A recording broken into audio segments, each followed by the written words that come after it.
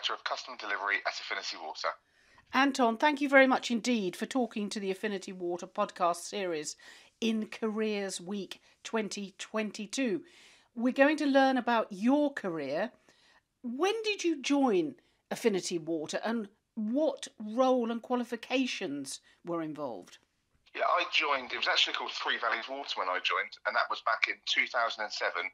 I joined as part of uh, what they called the General Business Graduate Scheme, and I just finished uh, uh, studying my degree in business management at Exeter University. So I joined back in 2007 when I was 20, straight from university.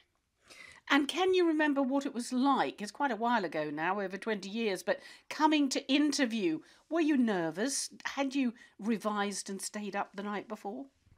I definitely revised and stayed up. That's that's definitely me. So it would have been an all nighter uh, the, the, night before. I probably got more worried about what I was going to wear and me, me suit being nice because I do uh, I do like to get myself in a flap and have a few wardrobe changes.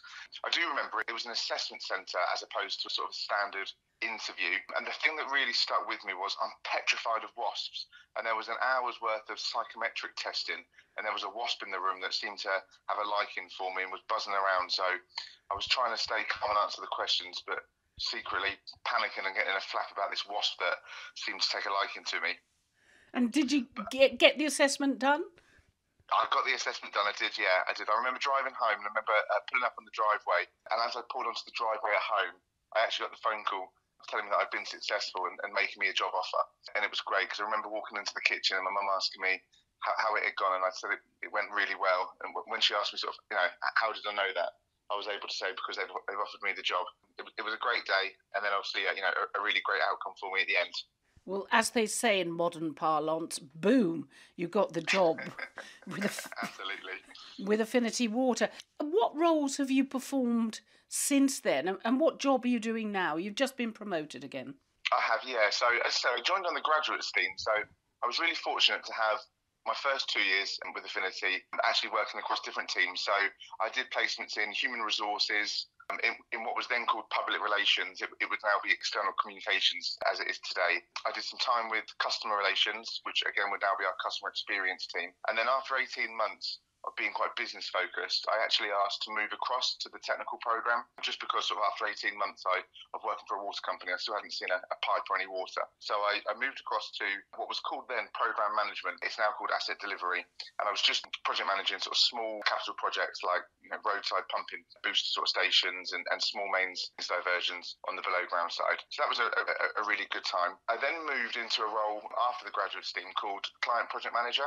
So actually, our project management was done by a, another company called Mace, who we'd outsourced to. So my role was to work alongside Mace on the client side, just sort of giving that assurance that, that what, what we were spending our money on was was getting us the right outcomes. And then when we insourced the project management, I was fortunate enough to uh, get a role as a project manager sort of doing more of the same, but a, a, bit more directly involved. Then moved on to be project manager for the Olympic Games or, or Affinity's preparations for the Olympic Games. So we had events like the cycling in our area, we had the rowing, and we also had Wembley Stadium. So there was lots to do to make sure that we were prepared and resilient for anything that might happen or, or uh, sort of you know, impact our reputation if, if things didn't go well during the Olympics. So again, that was a really exciting uh, sort of couple of years and something something quite different. Alongside that, at the same time, I was also getting involved with the Pipeline Industries Guild, and I'd worked my way up to be the chairman of the Southeast branch.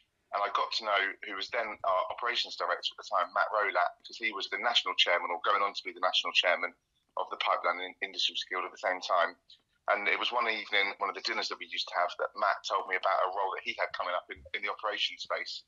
So I moved into a regional ops manager role in the southern region, looking after all of our customer service technicians and all of our leakage technicians. And that's really where I, I fell in love with, operations. I absolutely loved that I could have me, me shirt and tie on in the morning, sort of being in the boardroom asking for, you know, asking for more money for, for some funding that we might need. And then in the afternoon, have my high vis jacket on and my hard hat, being out on site, helping the guys you know, doing some of the valve operations or whatever they might be doing. So I stayed in operations for, for a few years and then I moved into a transformation role. So I think everyone got a little bit bored of me talking about what could be better and how things should be done. So they asked me to put my money where my mouth is and I moved into a transformation role and and through that time we did a lot of the, the design of the new operating model in operations. So moving to a regional model and, and looking at the terms and conditions.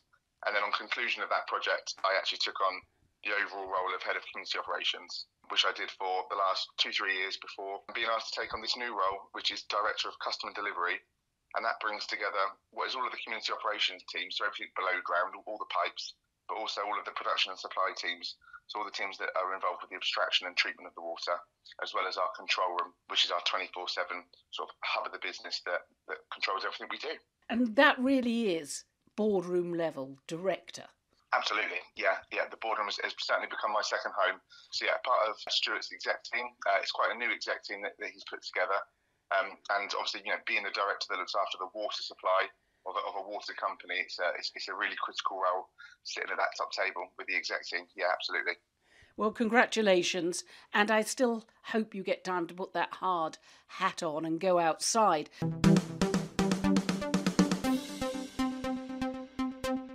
But three quick brain teaser questions for you now, Anton. Go right, go for it. Tough moments and why? Oh, tough moment. We had a big burst main once down in Egham. It was my first time as a bronze controller where I was offered the graduate programme. We had hundreds of thousands of customers at, at, risk of having no water, and we didn't have a fitting to fix this burst. So we had to spend £50,000 getting a new fitting sort of bespoke made. And when we flew it down, it, it didn't fit. And I remember having to tell Steve Martin, who was the, the gold director at the time, that, that, that this solution hadn't fixed. So I clearly had the cotton wool and uh, sort of up to that point and been well looked after, and the cotton wool was run truly off. I, I just got a, what do you mean it doesn't fit? And I just didn't know how else to answer that question. So yeah, that stands out as, as probably one of the toughest moments in my career during that incident. But you pulled it out, off. We, we, we, we, we got through, yeah, we got through. Well, the next brain teaser, most rewarding? Most rewarding. I met my wife at Affinity Water actually, so I better give that as my answer, hadn't oh, I? wow. Um, Vic was actually there was two of us. There were two business graduates on, on the team, so myself and, and Victoria. So Vic and I went on to get to get married. So affinity and, and sort of the water is, is well and truly sort of part of our lives. I think most rewarding. I think seeing different people progress through their careers, whether it be you know, into roles that they've that they absolutely love and they've sort of always wanted to get, or whether it's sort of up up the career ladder we were a really close set of graduates, and, a number of us have, have, stayed with the business now 15 years later in, really good sort of leadership positions across the business. But likewise, I've got technicians who were in my ops team down in when I took on the, the regional manager's role, again, probably what, 10 years ago, that two have, have worked their way up the ladder and are now in really good, you know, senior sort of leadership positions. And so I think seeing people progress and sort of realizing their potential is always a really rewarding part of being a of being a manager and having a wife. And, and having a wife, absolutely. third brain teaser. This is a really tough one, Anton. And be honest, the moments that you wouldn't want and don't like to do in your roles, that oh no moment, what are those? Um, oh, that is a tough one. That is a tough one. I would say anything talking about standby so we, we run our business. The majority of our teams work uh, 8 a.m. till till 4 p.m. or there or thereabouts. But obviously, people need water 24/7. So we run a standby model out, of hours. Um, you know, and standby is really tough. It, you know, it's not it's not fun. If the phone rings, something's gone wrong, and it, it can often be sort of a really challenging time. So often we get people wanting to talk about standby, doing something different, uh, maybe not having to do it, etc. And it's always a really emotive subject but it's also one that's really difficult because you know if you do something for someone, it can set a precedent across. You know, customer delivery's got over 450 people, for example, within it. So I always say when it comes to standby, I, I would rather do standby and be on standby than have to talk about it because that inevitably leads to some quite challenging conversations. You know that are quite difficult for for all involved. And it also is an emergency situation, so the team pulls together. It can be very rewarding team are absolutely fantastic. Yeah, absolutely. It's actually often when we're at our best. So actually, when we work, you know, when we break down those silos, we work in true, you know, truly collaboratively, eh, sort of across the business, because you know, whatever that incident is, you know, we need to get it resolved. And as I said, I've been here 15 years, and, and I'm, you know, I'm yet to come across a time where the team haven't pulled together and, and done a great job to, to resolve whatever incident it is that we're looking at. Yeah, and it is just like being in the emergency services. You've got to keep water running, particularly mothers and babies, hospitals. You've got some very vulnerable customers.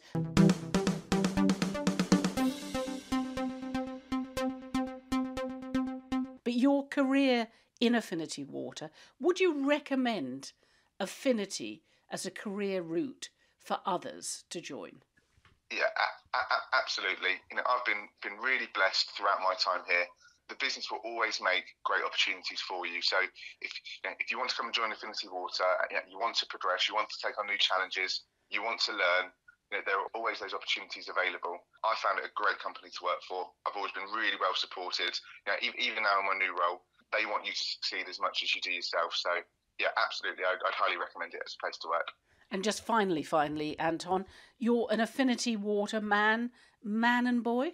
God, the man bit I struggle with. I still, I still think of myself as a boy. I'm still a youngster at heart. But yeah, yeah I, look, I've only worked for Affinity Water, so I joined straight from university. I've met my wife here. We, we bought our house close to the Rickmansworth office, so we could be in and around sort of work.